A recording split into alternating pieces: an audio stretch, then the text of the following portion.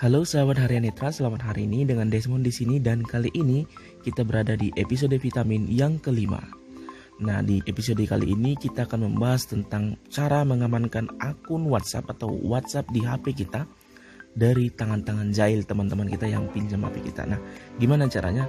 Kita manfaatkan satu fitur di WhatsApp yaitu kunci sidik jari. Nah, bagaimana caranya? Langsung saja kita masuk ke WhatsApp. Harian, folder, sosial, folder. Folder dibuka, Nah, di halaman sini 1 dari kita 1. pilih WhatsApp app. sebentar ya. Nah, WhatsApp app.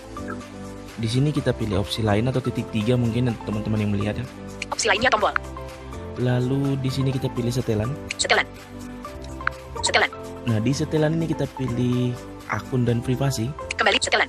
Anda respon papahan video kode QR tombol.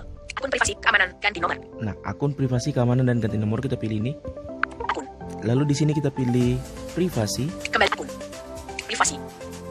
Nah, di privasi ini kita pilih. Privasi. Lalu kita cari di bagian akhir ada kunci sidik jari. Kunci sidik jari dinonaktifkan. Nah, karena memang di sini posisinya masih dinonaktifkan, maka dia bilang dinonaktifkan.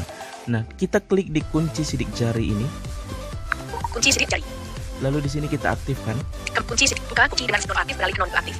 Konfirmasi sidik verifikasi identitas Anda gunakan sidik jari untuk memverifikasi identitas Anda. Batal. Nah, lalu di sini dia minta konfirmasi sidik jari, kita sentuhkan di sidik jari kita. Kunci sidik jari. Nah, kalau kita telusuri di sini ada Buka kunci dengan sidik jari ketika diaktifkan. Anda perlu menggunakan sidik jari untuk membuka WhatsApp app. Nah, Anda ya. tetap dapat menjawab panggilan jika WhatsApp app terkunci. AKTF beralih aktif. Nah ini keterangannya dia sudah aktif karena tadi sudah kita aktifkan dan kita udah konfirmasi sidik jari. Nah di sini ada pilihannya AKT kunci secara otomatis. kunci secara otomatis ada beberapa ya.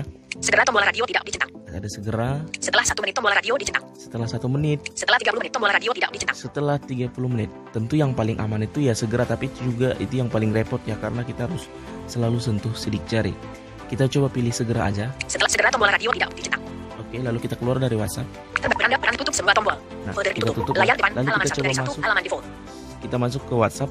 Apa yang akan terjadi? Harian sosial folder. Folder dibuka Kita halaman 1 pilih dari 1. WhatsApp. WhatsApp app. Nah, ketika kita klik WhatsApp untuk masuk, maka ini yang akan terjadi. Coba kita klik. Verifikasi identitas Anda gunakan sidik jari untuk Nah, ini memverifikasi dia. identitas Anda. Batal. Nah, coba kita sentuh sidik jari kita. WhatsApp app. Nah, lalu dia terbuka. Sylvia Agustina 03.28 WKW. Sylvia Agustina tombol.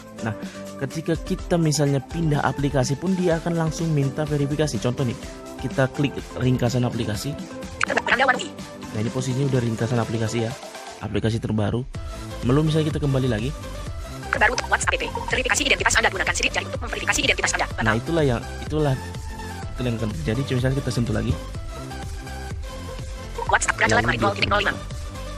Ini terjadi ketika kita pilih tadi Sylvia yang Agustina opsi, 03.28 W karakter.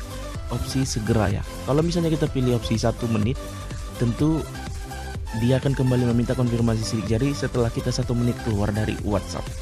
Nah mungkin untuk teman-teman yang Brajala kemarin 0.05. HP-nya dipinjamkan, eh sorry, Depan Anda Wanui. tentu untuk teman-teman yang HP-nya dipinjamkan ke orang lain, kita coba cukup pilih yang satu menit aja ya supaya dia nggak terlalu cepat untuk eh konfi- minta konfirmasi sidik jari kembali. Perlu diingat adalah bahwa ini fitur bisa berlaku ketika kita sudah mengaktifkan kunci pengaman sidik jari yang tentunya termasuk juga bagi teman-teman yang HP-nya sudah support fingerprint. Artinya untuk HP-HP yang belum support tidak akan bisa berfungsi dan teman-teman yang sudah support fingerprint tapi tidak mengaktifkannya sebagai kunci pengaman ini juga tidak support. Oke, demikian tips dan tutorial dari kami. Semoga bermanfaat dan selamat mencoba.